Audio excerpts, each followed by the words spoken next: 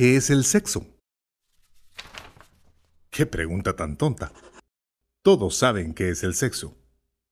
No, todos saben cómo funciona el sexo, sino solo algunas personas saben qué es en realidad.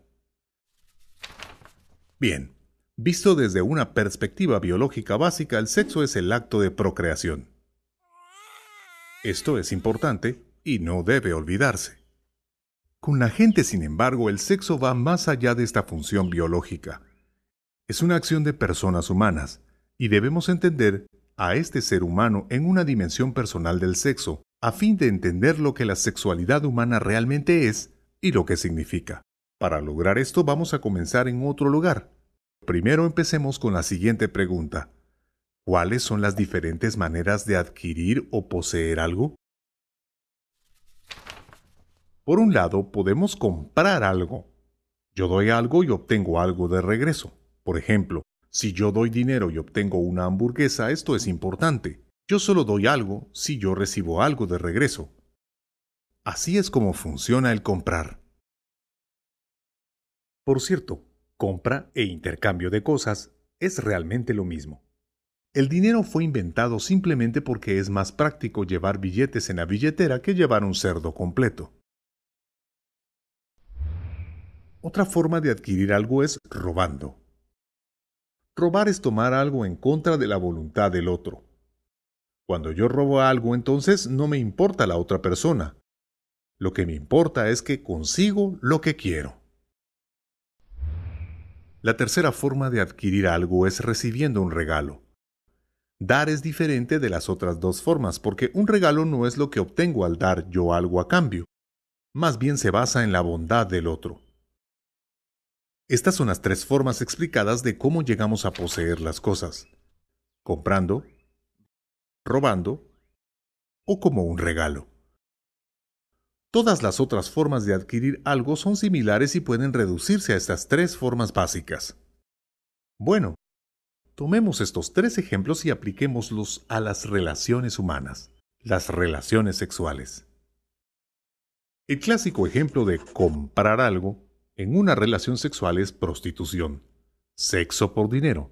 Pero realmente cada relación se dirige en esta dirección si los compañeros están preocupados principalmente por sus propios beneficios. Eso es todo sobre le daré algo, pero solo si usted me da algo. Tales relaciones usualmente terminan tan pronto como uno de los involucrados se siente que él o ella no está haciendo nada o lo suficiente o simplemente no lo que él o ella desea. Robar en una relación sexual es el equivalente a una violación.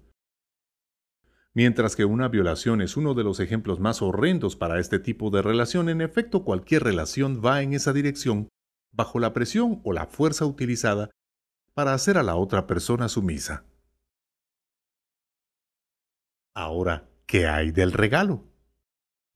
Dar tiene que ver con el amor.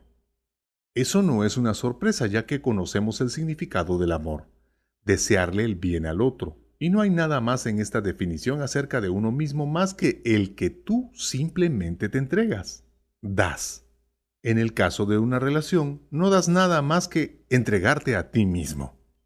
Estos tres tipos describen las maneras en que se puede vivir la sexualidad. Tal vez no siempre sea tan clara y a veces incluso estos tres tipos de relación están todos presentes de alguna forma.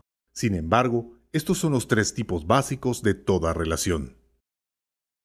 Ahora, ¿qué tipo de relación hará que una persona sea verdaderamente feliz? La respuesta no es tan difícil.